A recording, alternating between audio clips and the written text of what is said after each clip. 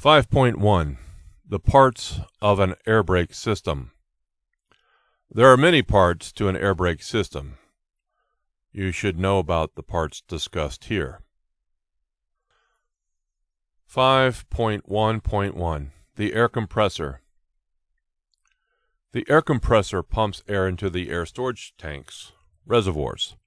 The air compressor is connected to the engine through gears or a V-belt.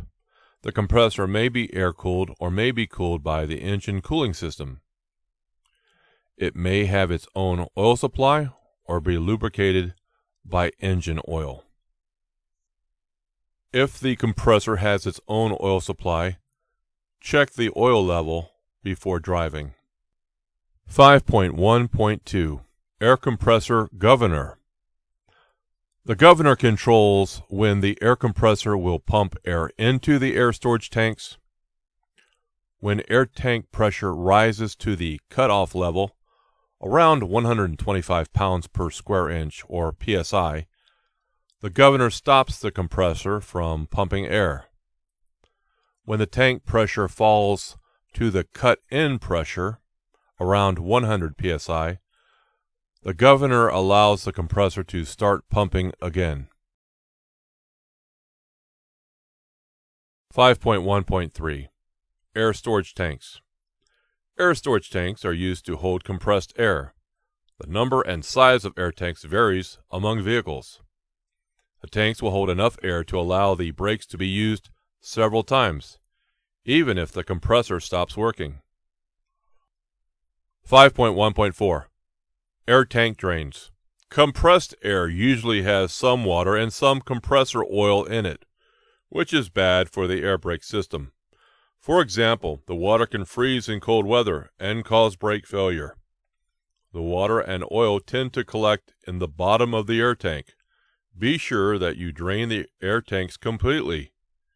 Each air tank is equipped with a drain valve in the bottom. There are two types manually operated by turning a quarter turn or by pulling a cable. You must drain the tanks yourself at the end of each day of driving. See figure 5.1. Automatic. The water and oil are automatically expelled. These tanks may be equipped for manual draining as well. Automatic air tanks are available with electric heating devices. These prevent freezing of the automatic drain in cold weather.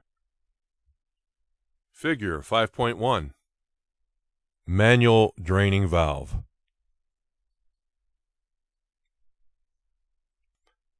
And we see here, this is the air tank. This would apparently be inlet. This would be probably be the inlet valve here for the air to go in and this would be the outlet um, port for the air to leave. And on the bottom, we have the manual draining valve, which is a, a fitting that fits here. 5.1.5 Alcohol Evaporator Some air brake systems have an alcohol evaporator to put alcohol into the air system. This helps to reduce the risk of ice in air brake valves, and other parts during cold weather. Ice inside the system can make the brakes stop working. Check the alcohol container and fill it up as necessary every day during cold weather. Daily air tank drainage is still needed to get rid of water and oil, unless the system has automatic drain valves. 5.1.6 Safety Valve. A safety relief valve is installed in the first tank the air compressor pumps air to. The safety valve protects the tank and the rest of the system from too much pressure. The valve is usually set to open at 150 psi. If the safety valve releases air, something is wrong. Have the fault fixed by a mechanic. 5.1.7 the brake pedal. You put on the brakes by pushing down on the brake pedal. It is also called the foot valve or treadle valve. Pushing the pedal down harder applies more air pressure. Letting up on the brake pedal reduces the air pressure and releases the brakes. Releasing the brakes lets some compressed air go out of the system, so the air pressure in the tanks is reduced. It must be made up by the air compressor. Pressing and releasing the pedal unnecessarily can let air out faster than the compressor can replace it. If the pressure gets too low, the brakes won't work.